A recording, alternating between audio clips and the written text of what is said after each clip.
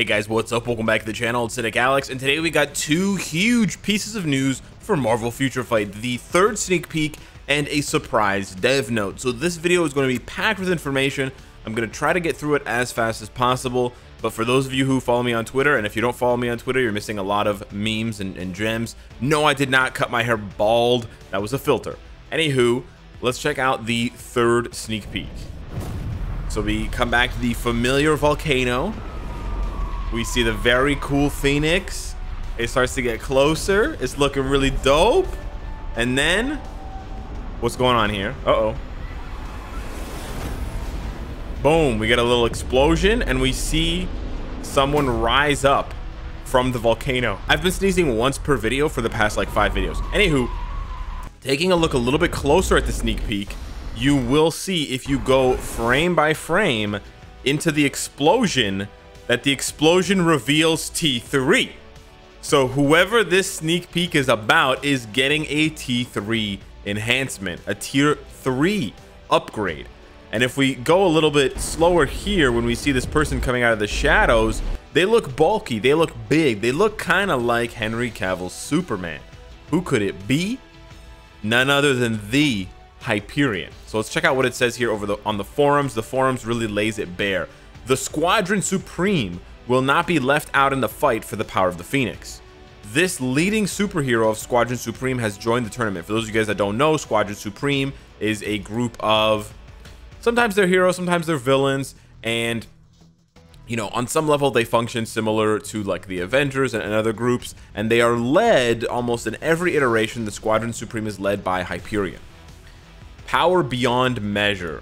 He's very strong. If you guys don't know, he goes toe to toe with Blue Marvel, who is one of the most one of the strongest cosmic uh, cosmically powered champions, I guess that you could say in, in, the in the Marvel universe. Very very strong, criminally underpowered in Marvel Future Fight, I should say. Check out the new look and power of this superhero, whose nuclear powers, Hyperion, have exploded with the touch of the Phoenix Force. We will announce more information through the October update details. So this is the sneak peek. Normally I would spend the remaining 10 minutes of this video or 9 minutes of this video just talking about Hyperion. Hyperion does need a top to bottom rework and we're finally going to say goodbye to this ugly uh, cell shaded uniform. I'm sorry devs, this was a failed experiment three or four years ago. I can't remember. I remember where I was when they announced these uniforms but uh, I don't remember how long ago it was now exactly. So we'll we'll finally say goodbye to this cell shaded uniform. And as far as Hyperion goes, he's going to be getting a brand new uniform. They said brand new look and power, so he's going to be getting a tier three. So my advice for you, if you don't already have him, if you have him, let's say you know at four star, five star, is get him to six stars and get him to tier two, so that you can unlock his potential, so that you have that option available to you. Remember, he's an Eternal now, and he has the leadership tag, so he's going to take advantage of all of White Fox's buffs. That's huge. And he's got a self-buffing leadership to the tune of 45% for all allies. That's huge. However, he could get even stronger because, like I said, Hyperion is supposed to be an absolute god. Um, he's not, but he's supposed to be. On top of the fact, if you don't have Hyperion, let me just go level that up here. If you don't have Hyperion at all, you can technically get him for free, although it is going to cost you gold and energy and possibly your sanity. He is in this support character. Why is my remaining support count at zero? Huh. Well, whatever. Uh, you can't. Oh, I think because I already ran my missions for today. Hmm. Anyways, you can refresh this and you can look for Hyperion BIOS. Keep in mind, because they slashed the number of bios needed by half, you don't need 10 bios anymore. You'll need five. So five bios, then slap a mega rank up ticket on him. Uh, at that point, I would say don't do that, right? If you don't have Hyperion at all and you don't have the resources, like if you're free to play, I would say just get the five bios and unlock him and then wait and see how wait wait to see how good his uniform in tier 3 is. And if my review and beast mode's review, etc are very very good, then you can consider throwing a mega tier 2 uh, and a, a, a, mega rank up and a mega tier 2 ticket at him uh, to then to then get that uniform and, and get that tier 3. So, that's a sneak peek. I'm very excited for Hyperion. He has been bad for a very long time and he's a premium character like Carnage. He was one of the original premium characters, so he honestly deserves way better than he's gotten. So this is a perfect selection for this update. This is this is exactly the kind of character you want to be reworked. Not only are they bad, but they've also been very very expensive for a long time. So players who have invested in him have felt like they haven't gotten a return on their investment. Maybe we're finally going to get a return on our investment for the original Superman clone. Now, that being said, there's a lot more information to get to. Surprise, surprise. Marvel Future Fight stays winning, baby. Did you know, by the way, you are playing the number one Marvel mobile game on Earth? Yeah, that's how I felt reading this because I was like, man, the game's pretty good. There's no need for an apology or, or a dev note. And yet here we are, ladies and gentlemen. Here we are. So very, very cool here. October update development team letter of appreciation. Awesome. Despite these hard times brought about by the recent crises, the pandemic and stuff like that, we have tried our best to capture the joys of Marvel in our beloved game and are listening to your feedback across the spectrum. We send our appreciation and apologies through this letter. Cool. Okay. The Marvel Future Fight development team will continue to do our best to present attractive features of Marvel. You're doing a good job. We are sending this letter today to introduce some changes like timeline survival, stuff like that, including Instinct. So, Instinct was the new sort of feature and, and sort of stat uh, that was included in the last update, which has been a point of curiosity since the September update. I got cat hairs on my microphone. So we hope this letter will help, help agents prepare for future battles. So Instinct and Artifact. Artifacts can now amplify Instinct. That can amplify Instinct will be added. So the, the way that I've understood this, artifacts seem to be like CTPs. I'm not saying they're CTPs in the sense of being as rare or as expensive as CTPs, but they are a new type of gear that can amplify the characteristics of a hero and add a new ability based on instinct. So because you equip it on a singular character, it's like uh, a CTP. But you could also compare it to Uru or ISO because it is going on a singular character. So it's unclear how many different artifacts you will be able to put on a character. If you can put, let's say, six artifacts, up to six artifacts on a character, maybe for the six Infinity Stones, then it would be more like Uru. I mean, I'm sorry, it would be more like ISO because you can equip up to eight ISO, right? If you can put, you know, 15 or 20 artifacts on one character, it's more like Uru. If you can only put one artifact on a character, it's more like uh, uh, CTP or an obelisk. And in my opinion, I'm just guessing here, I'm speculating, but the higher the number of artifacts you can equip, the lower the, the, the individual power level of each artifact is going to be. Kind of makes sense, right? If you can only equip one artifact, then the power level is going to have to be pretty similar to CTPs to get people interested and to get people actually trying to, to farm them and buy them, right? You don't want to give someone the ability to equip one thing and it's like one Uru, oh, whoop-de-doo, I got 90, I got plus 90 energy attack. It doesn't make any sense, right? So it's it's either a lot with a with a small individual value, or it's one with a large individual value. That's that's my take on uh, how it's going to work, but it's unclear how many artifacts you could equip on each character. But yeah, my guess would be it's like a CTP. I just don't want people to panic and be like, oh my god, they're introducing new CTPs. Free to plays are going to get milked. Well, free to plays can't get milked because they don't spend any money. Anyways, don't worry about it.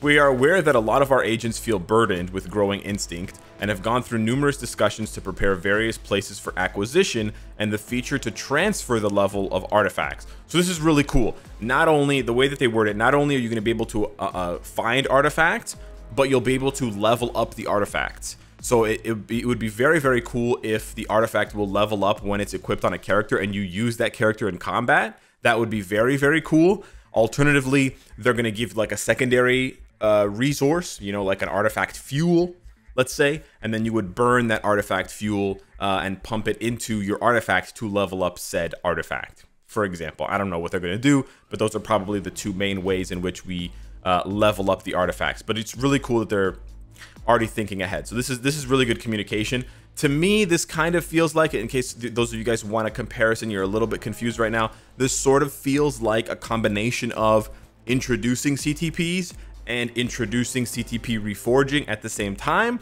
but on a much smaller power scale. At least from what I can tell, right? I don't think that artifacts are going to overtake or replace CTPs because we still don't have all of the reforged CTPs and the CTPs still make the devs a lot, like still make the game a lot of money. So my guess would be artifacts are not going to be on the same power level as CTPs. Like CTPs are going to be here, artifacts are going to be here, but in the sense that uh, artifacts are going to be something that you not only grind for to get, but you also do some sort of enhancing on, which is different than CTPs if you don't do reforging, right? If you don't reforge, once you get a CTP, you just slap it on the character and go, right? Even once you reforge it, if you reforge it and get lucky with the roll, you just you just go right? You slap your knee and you go. Uh, there's no there's no second step. There's no ongoing maintenance or upgrades. To be honest, there's really no ongoing maintenance or upgrades for anything in this game. Uh, well, not anything, but, but for most equipments besides uniforms. For uniforms, you need to keep grinding XP if you don't have the XP chips, right? So it's kind of like a mixture between a CTP and a uniform, in my opinion, with the XP that you can get uh, and leveling up the artifacts. Anywho, artifacts can now, I digress. Artifacts can now be acquired from, well, not can now, but after the update, will be acquired from the story mode and timeline survival. I think these are two really good places to put them for two reasons. One, timeline survival is open to all players, and we know that the first two or three difficulties are also open to almost all players, right? The third difficulty is very, very easy. They're going to be introducing more difficulties, difficulty 4, 5, and 6, so that's really good. They're going to be doubling the number of difficulties, but we know like it's not like the third difficulty for now was impossible to begin with, right? But the story mode is also really good because again, there's two difficulties. There's normal mode and there's extreme or ultimate mode or whatever. So there's there's a lot of good, you know, if if they, if they put the the artifacts in like World Boss Legend or you know uh, Alliance Conquest or something like that, it would be or Alliance Conquest like top 100 uh, it would be it would exclude a lot of players. So it's really good that they're spreading out these rewards across game modes instead of concentrating them all in the same one or two game modes. We also reduce the gap between agents by allowing additional artifacts uh, that can be acquired from the store if needed for free or with crystals and gold. So I don't know if this reduces the gap between agents. Wink, wink. Uh, this is this is obviously a way for them to monetize artifacts more right? Because right now, if they just have them drop here, they can't monetize them. So they want to monetize artifacts. Again, I'm not really to comment on that. Every game is going to want to make money with every new piece of content they introduce because the content is free otherwise. So they're going to have that option available. But I believe this is the best case scenario because not only do they mention free, but they also mention gold. They don't they don't just mention crystals. So that's what sort of uh, honestly, this is very well written and this honestly leads me to believe that they've thought this through very, very well. They don't want, the way that I read this, they don't want a repeat of last year's reaction to the CTP reforging. You know what I'm saying? And if you were there for that, you know exactly what I mean. And props to you for sticking with the channel for so long. Uh, okay, let's keep going. Uh, also, to alleviate difficulties, the enhanced level of artifacts, so like leveling up art, your artifacts, that has already been enhanced and equipped can be transferred to a newly equipped artifact aside from removing the gear by unequipping. So the way that I understand this, and I could be wrong, there's going to be two ways that you can use an artifact that's already equipped on a character. You can either uh, you can either unequip the artifact, which is probably going to cost crystals, because that's how it works in Marvel Future Fight. If you want to unequip something, you can either unequip the artifact and then equip it on another character, or let's say you find a, an artifact that's better suited right? Like let's say you have an artifact on Hyperion that gives him more HP. I'm just saying randomly. And then you find another artifact that gives him more HP if he's an Eternal. Like it's just the artifact just says, you know, plus plus 20 HP, which is the same as the old artifact. But then it adds another 10% HP if he if they have the uh, Eternals ability tags. You're like, dang, I want to give this this is 10% more HP, right? It's a it's a 50% increase in HP for my Hyperion. I want this new artifact. Oh, but I I spent all that time and all those resources leveling up my old artifact to level 5. So all you can do now is you can take what like what they said in the in the thing, right? You can transfer you can transfer the levels on your old artifact to the newly equipped artifact. So you can you can transfer some of your progress and you're not going to lose 100% of the progress on the existing artifact to the new artifact. Again, that sounds pretty good. Hopefully that'll be a free process. That's not going to cost you gold or crystals, but we'll have to wait and see. So yeah, that's the new item that's coming to the game, the new resource coming to the game. I don't know if it's an item or a resource. Should be an item, not a resource. Sorry. New item coming to the game, uh, artifact. And then we have timeline survival. So, first of all, we'd like to thank you all for playing Timeline Survival and providing various tips and feedback through the community event. Based on your suggestions, here are some of the changes that are going to be made on battle difficulties, effectiveness of hidden features, and temporal energy, which is what you use in addition to energy and boost points in Timeline Survival. So, they're adding threat levels, like I said, 4, 5, and 6, which is really good. So, they're doubling the number of incursions or threat levels in uh, Timeline Survival. These are harder and they're designed to require more tactics in selecting heroes. So you're probably going to have to be very careful when you select. There's probably going to be some stages that require you to bring characters that have, let's say, like chaos magic, like Scarlet Witch, or characters that are mutants specifically, or that are tier 3 or transcended or something like that. So that'll be really, really cool, and I'll be excited to, to jump into that and see, see what's good. In addition, the maximum number of temporal energy will be increased so we're gonna get we're gonna get an increase of uh, from five for the max temporal energy, which is excellent. And the recovery period will be decreased. So you're gonna recover because I think before it was one hour for every temporal energy. They're gonna decrease that. So you're gonna gain back temporal energy faster to reduce frustration and allow agents to explore the timeline for a longer time. These are excellent, excellent changes alone, but there's more artifacts will now be the main reward in timeline survival. So you're definitely, definitely going to want to play timeline survival. Go back and watch my old video on it if you want sort of a, a refresher. I can link it in the card above. Uh, and otherwise, you know, keep it locked on the channel for more content about the upcoming timeline survival. And they can be acquired as daily rewards and stage clear rewards. So again, this this is what makes me feel like the power level for artifacts is not going to be as high as CTPs. So don't panic, don't get all afraid that this is some crazy power creep that's going to, you know, create this huge gap between you and whales uh, because they don't give away CTPs as daily rewards when they introduce them. You know what I'm saying? They don't even give away CTPs as daily rewards now.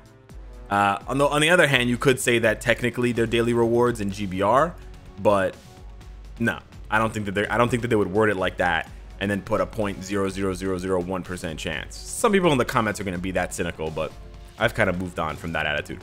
Lastly, the hidden features, the little question marks and stuff like that, have been improved so that buffs will appear more often to help out with battles. So that doesn't mean they're taking away the, the negative uh, effects that can trigger from the question mark squares.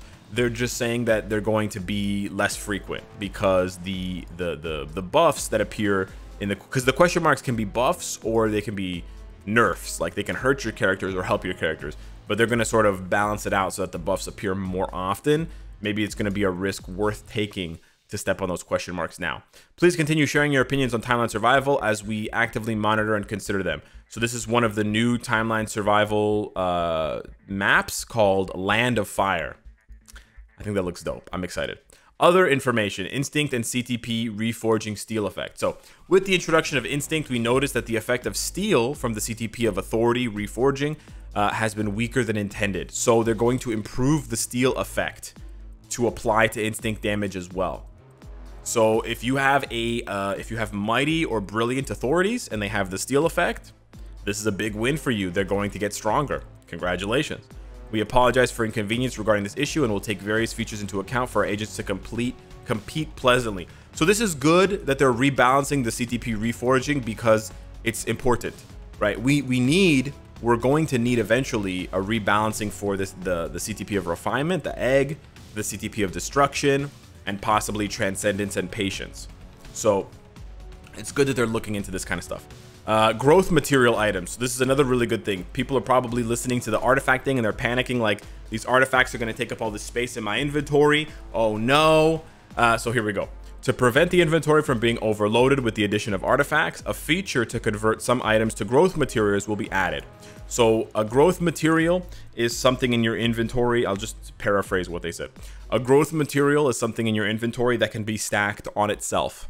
That's how it's worded in Marvel Future Fight. So the hidden ticket is a growth material because it stacks on itself. You have 31 hidden tickets, but you don't they don't take up 31 spots, right? On the other hand, rank up material, it does stack. Like each bio of itself stacks, but the bios in general don't stack because they, they hate us. I don't I don't know why it doesn't stack, but it, it doesn't stack. I mean, it would be kind of weird if it stacked on the one hand because you couldn't tell how many bios you had of which character, but yeah. So basically what they're going to be doing is they're going to be turning some items into stackable items. We don't know which items are going to become stackable, but some of them are going to become stackable. So yeah, they're going to turn some of these items somewhere into into stackable items. Maybe they're going to uh, make all ISO have the exact same stat. That'd be cool, to be honest. And then have them be stackable. I don't know. But yeah. So growth material items are, are materials that can be stacked in your inventory and are expected to help secure more inventory space. So it's going to alleviate some of the inventory issues for you. And then we have a new epic quest. New epic quest, ladies and gentlemen. Yeah, we are preparing a new epic quest. For those of you that called it, I didn't think so. I was like, y'all are crazy. There's no way they're doing an epic quest for the Eternals. I was 100% wrong. We are preparing a new epic quest in celebration of the upcoming Marvel Studios The Eternals. So this is one of the pieces of artwork in game for one of the zones that I guess you're going to visit during the epic quest. And in my, uh, to, to the best of my memory and my knowledge, this is one of the castles that we see the Eternals visit very early on in their journey when they come to Earth. Minor spoilers here if you've seen the trailer, which hard to miss by now, but the Eternals have been on Earth for a long time, 7,000 years or something like that. And so when they first arrive on Earth and they're they're talking to people, you see uh, Angelina Jolie's character and you see um, the one that runs really fast, Sprite or whatever. You see them inside, like inside the castle in the courtyard, and this is the castle that they're in, so, sort of, sort of. So yeah, that should be very, very exciting. We are devoting ourselves to deliver the stories of these Eternal heroes, so please look forward to future updates. We only have two Eternals in the game right now besides Hyperion. The October update is going through tests for satisfaction of our agents. Please look forward to the upcoming update with the enormous power of the Phoenix that were revealed in the last sneak peek. So there you go. There you have it, guys.